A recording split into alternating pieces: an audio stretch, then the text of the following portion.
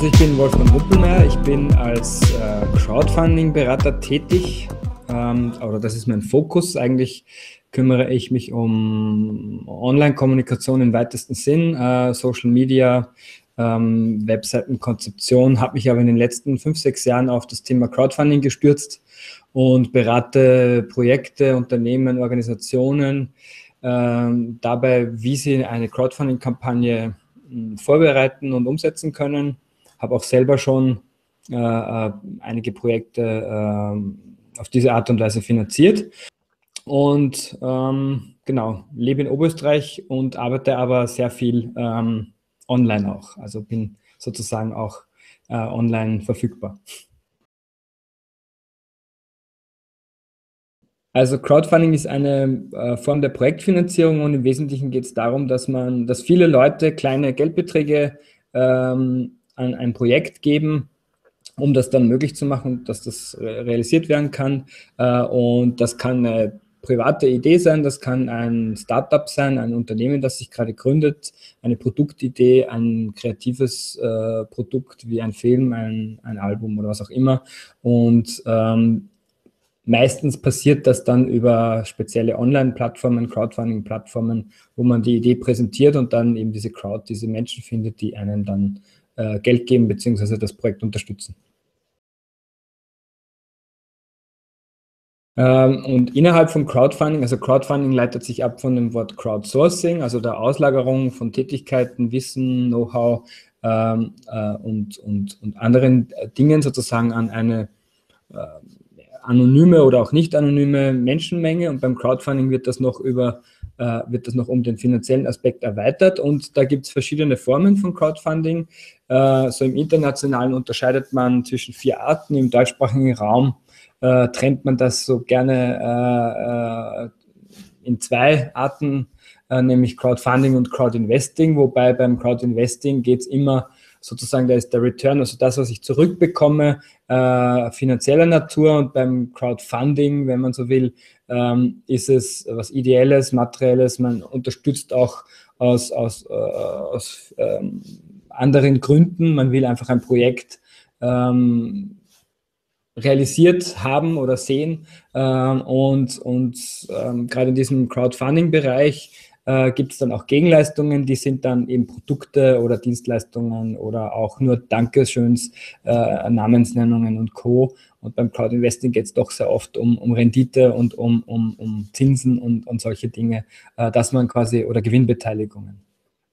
Und im Grunde, also wenn man so will, ähm, ist es vor allem, also im Crowdfunding ähm, bewegen sich vor allem kreativwirtschaftliche äh, Unternehmen, Künstler, aber auch Sozialvereine, NGOs, NPOs, äh, aber vermehrt auch im internationalen Raum, aber auch im deutschsprachigen Raum äh, Startups, die Produkte vorverkaufen. Und äh, im Crowd-Investing, da, wenn man dann noch unterscheidet, da gibt es auch sozusagen ein Darlehensmodell und ein Beteiligungsmodell.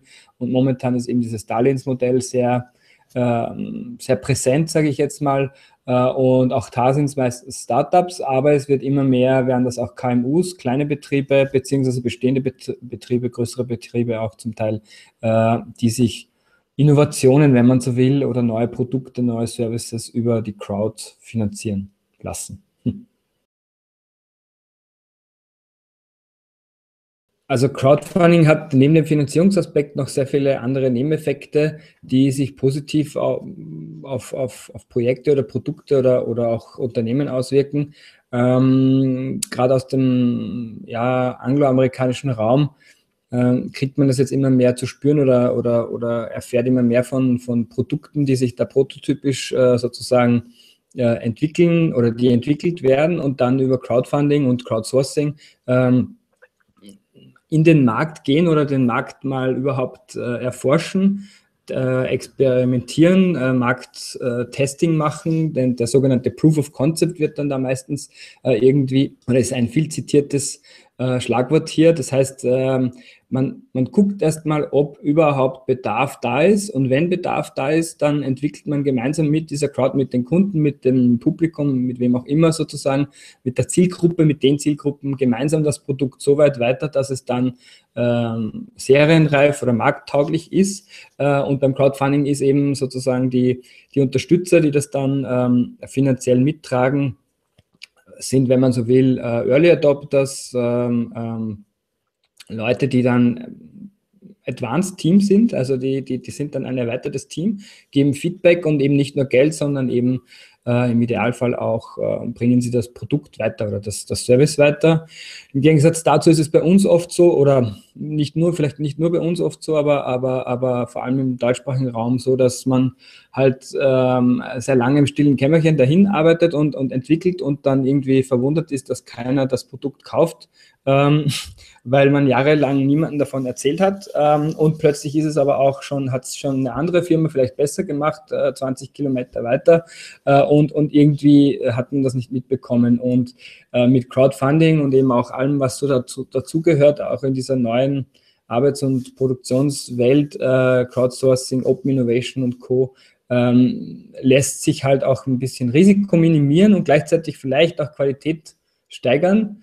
Ähm, weil man eben nicht äh, in den Markt geht und dann erst bemerkt, dass da eigentlich kein Bedarf ist, sondern ähm, äh, im, im, Vorfeld schon sich ein bisschen am Markt orientiert. Das ist natürlich, wenn man so will, vielleicht äh, sehr, wie soll ich sagen, Nachfrage und äh, orientiert und kapitalistisch, sage ich jetzt mal, ähm, und nicht mehr künstlerisch oder kreativ oder wie auch immer. Aber da gibt es natürlich sehr viele Mittelwege und das ist natürlich gerade, sind wir in einer Phase, wo man da noch experimentieren kann und das ist auch gut so. Also äh, man muss sich ja dann nicht komplett an den Markt, äh, am Markt orientieren, aber zumindest schon an dem, was, was, was Leute dann haben wollen. Ja, also man will ja dann auch trotzdem mit einem Produkt oder mit einem Service irgendwie reüssieren und Geld verdienen oder äh, Publikum haben oder was auch immer.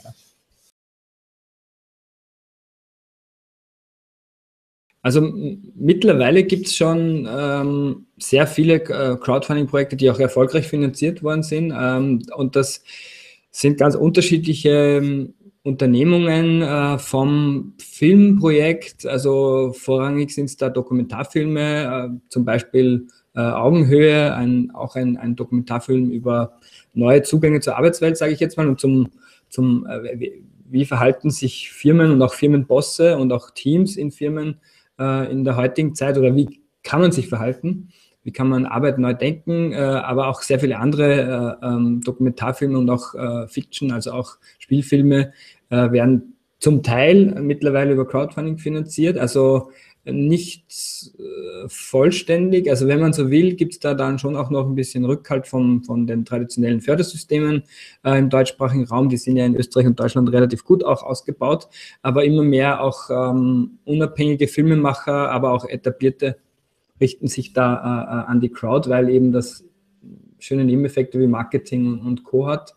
Ähm, dann gibt es natürlich aber auch sehr viele ähm, Unternehmen, die die, die ihre Startups eben ähm, etablieren wollen und sich eben auch, weil Crowdfunding immer sehr viel mit Kommunikation zu tun hat und im Idealfall eben auf Augenhöhe, ähm, die sich über Crowdfunding dann an die neuen Kunden oder an die potenziellen Kunden richten und dann so das Produkt äh, wachsen, wachsen lassen und auf den Markt bringen. Zum Beispiel auch äh, im App-Bereich. Äh, ein, ein, Beispiel ist hier BeCared, eine Notruflösung für äh, Seniorinnen äh, äh, ältere Menschen, die hier äh, über, über Smartphones sozusagen einen Zugang bekommen.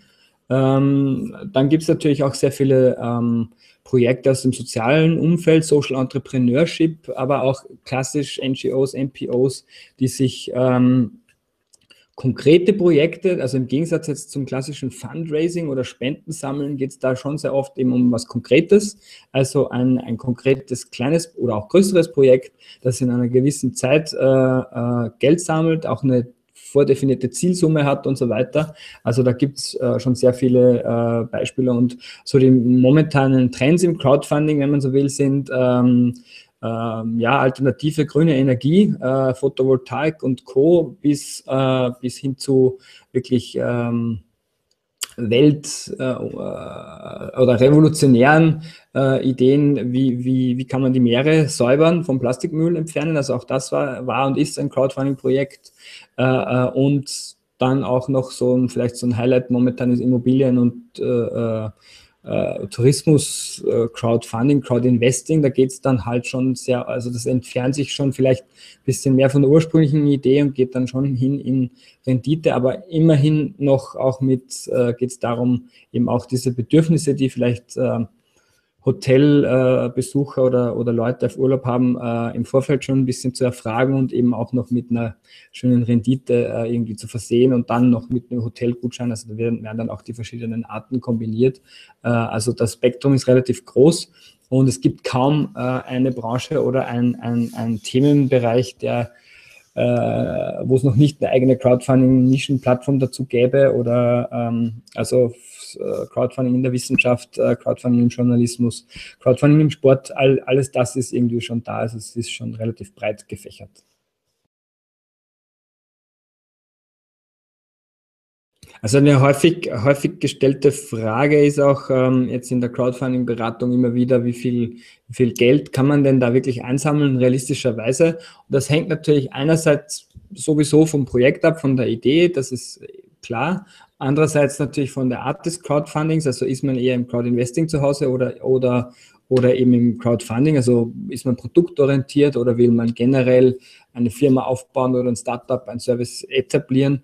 Ähm, wie ist auch die Rechtsform dahinter? Also ist man eine GmbH zum Beispiel, äh, kann man Beteiligungen oder will man überhaupt Beteiligungen abgeben? Und an dem richtet sich das so ein bisschen in Österreich und Deutschland oder äh, in Europa haben wir ja noch keine einheitlichen Regelungen, wie viel da eingesammelt, also auch vom rechtlichen Rahmen her.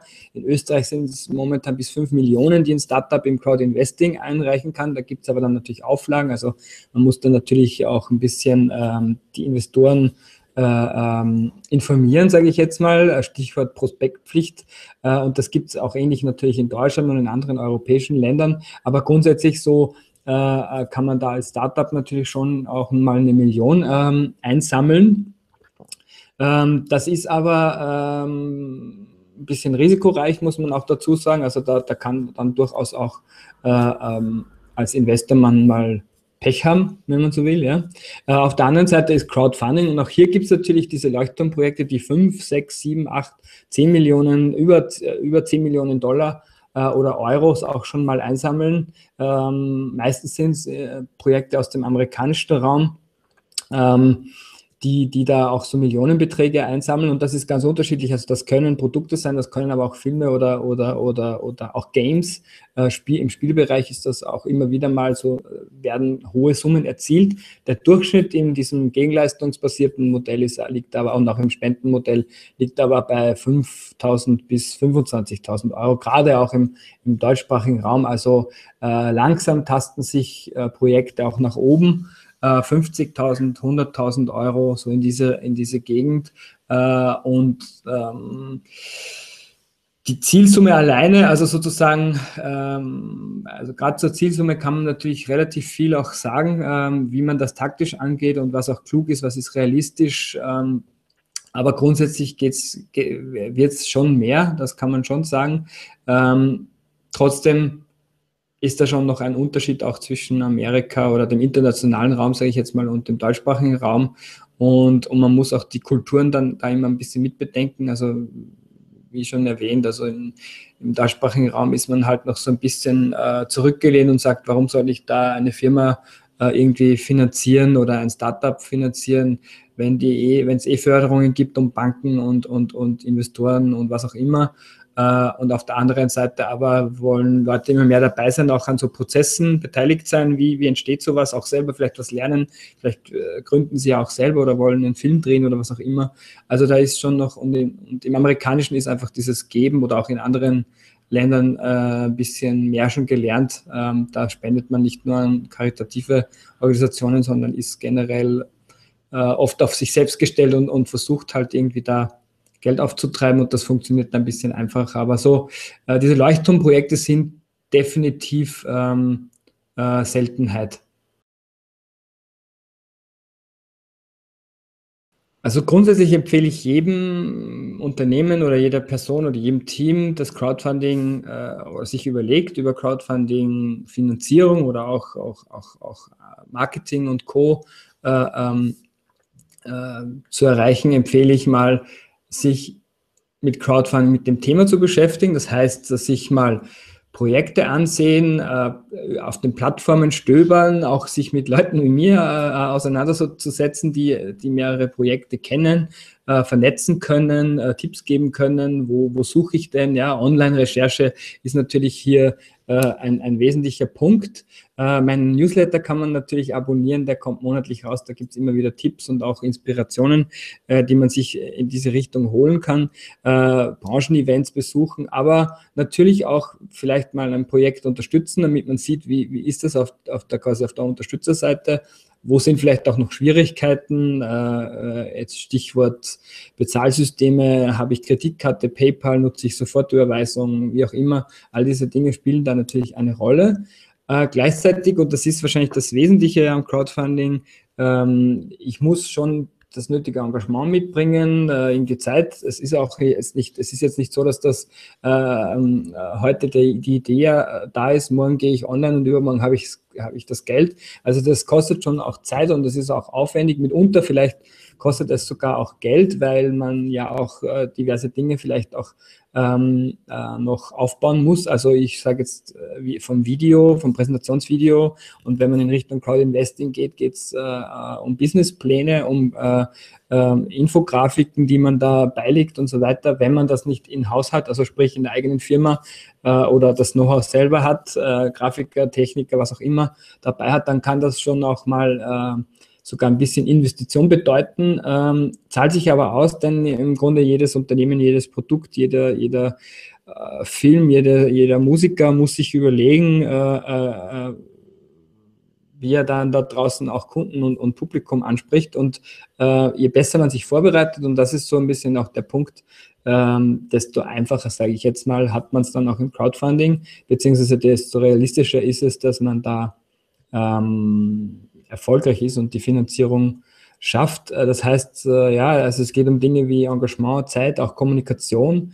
Ähm, selten, ganz selten funktioniert Crowdfunding so äh, top-down. Also man muss sich schon da auf Augenhöhe bewegen wollen, auch als Firma oder als KMU oder auch als, auch als Kreativer. Also man darf da sich nicht, nicht dann verstecken. Das hat viel mit Transparenz und Authentizität und Offenheit und so zu tun.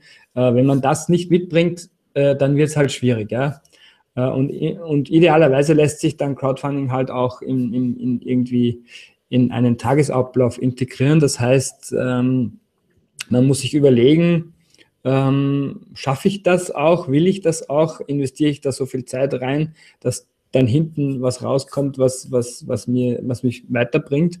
Und Genau, aber es gibt natürlich viele Leute, die sich mit, mit solchen Themen beschäftigen. Die kann man dann auf jeden Fall auch, auch äh, nochmal äh, hinzuholen und die geben einem auch Tipps und ähm, äh, da kriegt man dann schnell ein Gefühl, ob, ob das das Passende ist oder, oder nicht. Ja.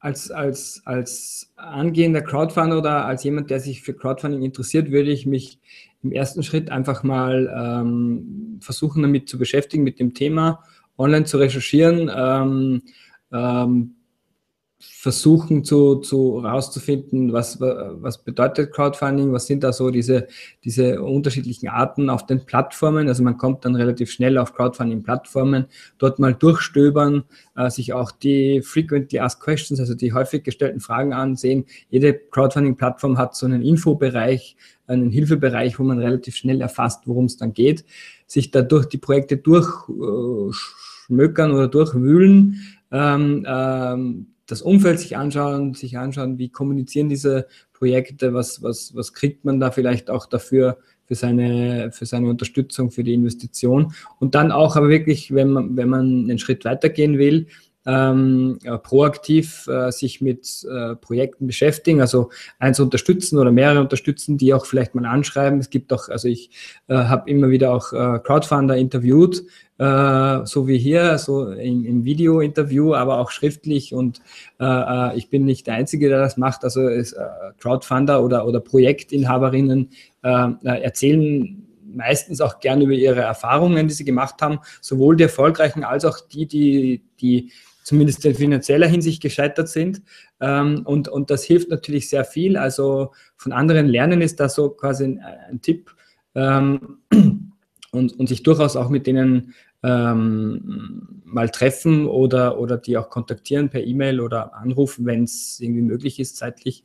Äh, und natürlich dann, wenn man noch einen Schritt weitergehen will, immer wieder gibt es auch Veranstaltungen dazu von den diversen äh, Vereinig Vereinigungen, Organisationen, äh, von der IHK, von der, in Österreich von der Wirtschaftskammer, äh, aber auch von äh, Branchenverbänden, äh, auch in der Kreativwirtschaft beziehungsweise Fachverbänden. Es gibt Messen, es, es gibt äh, sehr oft ähm, Vorträge zum Thema alternative Finanzierung.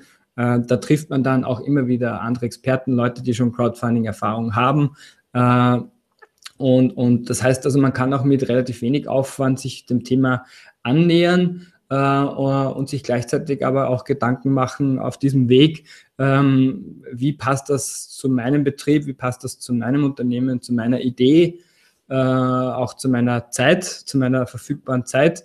Äh, ist das integrierbar und, und, und im Grunde ähm, tastet man sich dann ähm, an, ein, an eine Entscheidung ran, sozusagen, ähm, die aber jetzt, die man jetzt nicht ähm, innerhalb von zwei, drei Stunden treffen muss, sondern das kann, da kann man sich durchaus auch Zeit nehmen dafür. Und das ist auch, meistens ist auch, auch der Faktor Zeit ein, ein ganz wesentlicher beim Crowdfunding.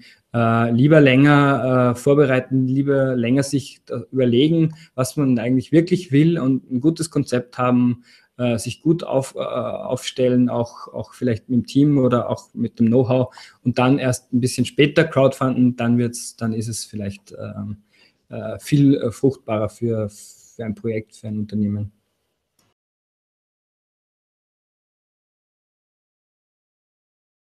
Ich mache das mittlerweile nicht mehr. Ähm, und zwar aus dem folgenden Grund, weil man sich dann einfach auf den Berater verlässt ähm, und als, als, als Projekt, also als eigentlicher Projektinhaber oder als Inhaberin sich zurücklehnt und, und eben genau dieses Engagement vielleicht nicht mehr zeigt.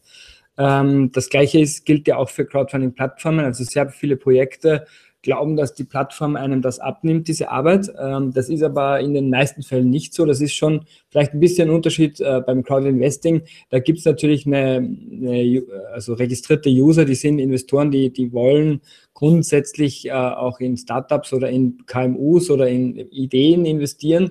Aber natürlich äh, angenommen, ich bin jetzt irgendwie äh, Investor oder Privatinvestor, der, der auf Sport steht und es ist einfach ein Jahr lang nichts im Bereich Sport da äh, online, dann werde ich, dann habe, also dann interessiert mich grundsätzlich also keins von diesen Projekten. Ja. Also man muss schon immer auch ähm, äh, darauf achten, dass man die eigene Crowd mitnimmt. Und insofern ist es natürlich als Berater schwierig. Ich habe zwar meine Crowd, ich habe mein Netzwerk, ich habe eine Community, wenn man so will, äh, aber auch die ist nicht an jedem Projekt interessiert. Insofern muss natürlich der, äh, müssen natürlich die einzelnen Projekte, die, die Ideengeber, die Ideen, die Unternehmen, die Kreativen natürlich schon ähm, auch arbeiten, ja, und, und, und, und, auch, und auch wirklich sich was überlegen und jetzt, jetzt tue ich mich natürlich als Berater schwer, wenn ich das von, meinem, von meiner Arbeit abhängig mache. Äh, und am Ende heißt es dann immer, die Plattform ist schuld oder der Berater ist schuld, äh, wenn dann diese Zielsumme nicht äh, zustande kommt. Und davon kann man nicht leben, ganz einfach. Also davon kann ich als Berater nicht leben. Äh, ich kann aber natürlich, äh, also ich habe meine Produkte, meine Services jetzt soweit mal geschnürt. Das sind Beratungs-, Einzelstunden, Beratungspakete, fünf Stunden, zehn Stunden äh, oder wenn es noch mehr ist, halt pauschal vielleicht sich ausgemacht. Ich habe Workshops einen halben Tag, einen ganzen Tag, die variieren natürlich inhaltlich. Also für die ganz, für die, die ganz neu dabei sind, sozusagen ein Orientierungsworkshop, für, für alle anderen dann, wo es dann im zweiten Teil schon eher um, äh, wie mache ich mir einen Kommunikationsplan, äh, was sind äh, Gegenleistungsideen, äh, wie drehe ich ein Video, solche Dinge, also schon konkretere Brainstormings oder Planungsschritte. Ähm, dann gibt es eben noch so Gratis-Services wie den Newsletter und Magazinteile, Interviews, die ich führe. Ähm, und, und alles das kostet natürlich Zeit und, und Geld. Ähm, am liebsten ist es mir als Berater natürlich, ähm, äh, mich, mich, mich, mich bucht sozusagen ein Unternehmen oder eine Organisation. Äh, ich werde bezahlt, die haben Inhalte, Seminarinhalte äh, und, und geben das ihren Mitgliedern gratis oder verbilligt weiter. Das ist mir natürlich am liebsten, also wo alle was davon haben. Und natürlich gibt es auch Angebote wie Flow Campus oder online Online-Kurse, wo man sich auch natürlich in, äh, ähm, in einer Mischung aus, aus Beratung, Live-Beratung sozusagen, aber auch On-Demand angeboten hier weiterbilden kann und, und auch was arbeiten kann. Und klar gibt es Berater, die auch äh, von der Provision leben. Auch zum Teil mache ich das auch, in, in, aber es so mit einem Fixum äh, versuche ich schon immer irgendwie äh, zu arbeiten. Das kommt aufs Projekt auf an, auf, auf die Chancen, die ich mir errechne. Ich, ich, ich nehme meistens, also ich gebe schon äh, auch Tipps in, in, in Richtung, also ich kenne mich ja mit, nicht nur mit Crowdfunding aus, sondern auch mit äh, im weitesten Sinne Online-Kommunikation, Online-Business, ja, also äh, und ich gebe dann natürlich schon Tipps und wenn ich sehe, dass, dass es eine Idee schon zehnmal äh, in sehr ähnlicher Weise im deutschsprachigen Raum gibt, dann, dann, dann werde ich das natürlich schon erwähnen und dann versucht man aber eher am Konzept und am Businessmodell zu arbeiten und nicht am Crowdfunding per se mal. Ähm, und, und klar, und klar, und wenn ich dann sehe, äh, wenn ich dann das Gefühl habe, das kann irgendwie aufgehen, dann bin ich vielleicht schon auch mal ähm, nur mit Provision dabei, aber das ist äh, noch sehr selten passiert, äh, sage ich jetzt mal. Also es gibt natürlich, äh, oder es stehen Leute dahinter, wo ich weiß, die kriegen das hin, ja. Ähm, dann lasse ich mich kaufen.